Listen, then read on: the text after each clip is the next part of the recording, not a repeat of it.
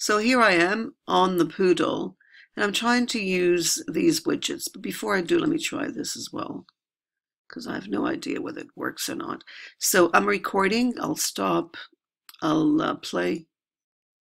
And it seems to be working just as well. So that's that's one thing out of the way.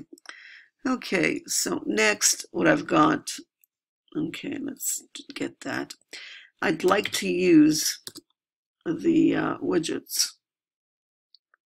So let me go back here into the widgets because I really like them, but apparently they don't work. Notice it says countdown and then it's got an MP4. So maybe that's what I should be doing. I should be creating an MP4 first, and then it'll work. But how can I create it if it doesn't work? So the widgets don't seem to be working. Maybe you can help. Thank you.